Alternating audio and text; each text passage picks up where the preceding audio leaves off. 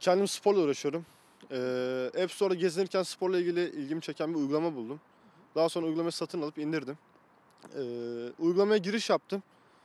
İlgimi çek, çekici bir durum olmadı uygulama içinde ve geri iade etmek istedim. Uygulamaya geri iade ettim ve ücretini geri aldım. Uygulama daha sonrasında bende kaldı ve paramı geri almış oldum.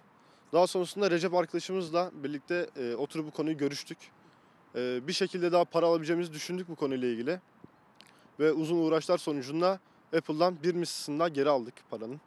Yani şu durumda hem uygulama bize kalmış oldu hem de yatırdığımız ücretin bir mislini daha kendimize kar olarak almış olduk. Yani bütün uygulamalarda oldu. Yani denediğimiz çoğu uygulamalarda oldu ve tüm cihazlardan neredeyse denedik. Tüm yakın arkadaşlarımızdan, ailemizden, dostumuzdan, herkesten denedik. Oldu yani.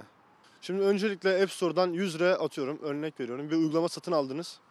Bu uygulamayı geri iade ettiğinizde 100 lira sizde kalmış oluyor. Hem de uygulama kalmış oluyor. Fakat yaptığımız, yaptığımız işlemler sonucunda ekstradan bir 100 lira daha alabiliyoruz. Açığı bulduk. Ee, ilk önce bunu sadece bizde mi oluyor diye bir test ettik diğer cihazlardan ve uygulamaları değiştirerek. Sonra bunu Oğuz Akçay arkadaşımızla görüştük. O bizi Apple yetkilileriyle görüştürdü. Sonra onları açığı bulduğumuzu kanıtladık. Bize yüksek bir miktar para teklifiyle geldiler. Hani biz açığı yani o miktarı beğenmedik. Yani daha iyi bir fiyat verebileceklerini düşündük. Bu yüzden bunu bu şekilde kabul etmedik.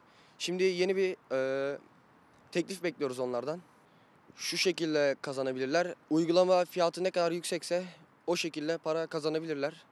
Sonuçta ama bunu biz dışarı verdikten sonra bunu bir kişi yapmayacak. Milyonlarca Apple kullanıcısı yapacak.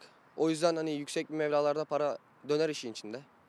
Direkt Apple'ın kendi ayarları üzerinden satın alma işleminden, geri talepten ve sonradan kendi bilgilerimizi kullanarak bir teklif aldık. Üçüncü uygulama olmadı yok.